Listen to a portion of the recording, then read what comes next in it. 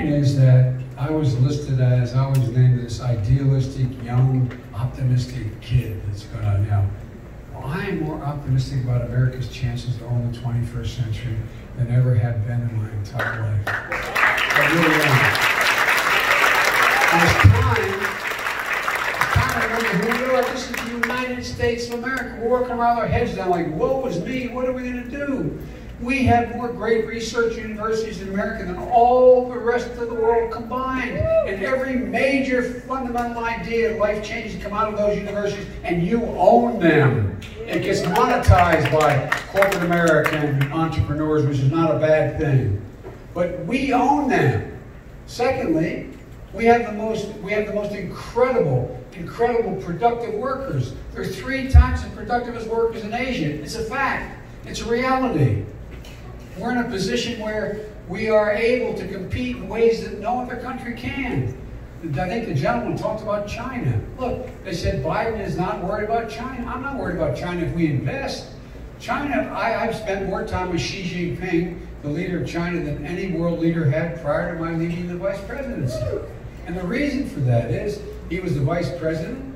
Barack Obama wanted to get to know him. It was not appropriate for him to spend the time. So I spent time with him, traveling 17,000 miles here and in China with him.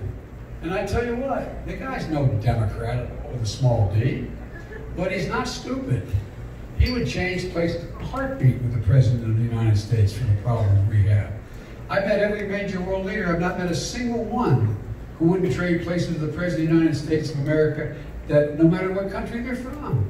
This is a guy who has a million people in prison, Muslims, in the mountains in the West. This is the guy who has Hong Kong falling apart. This is the guy who more people are going to die of cancer in the from 19 from 2020 to 2030 than all the rest of the world combined.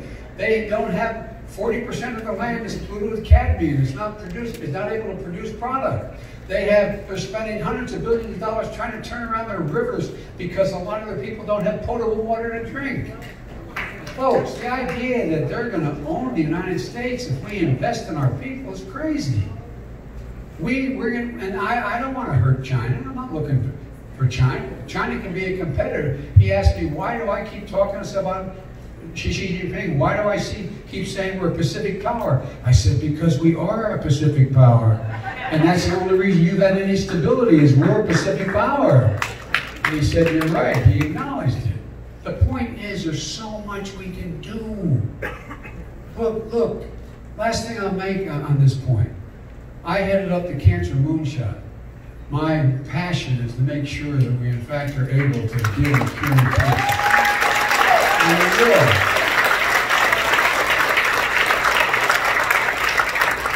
We're the best minds in the world in the United States of America.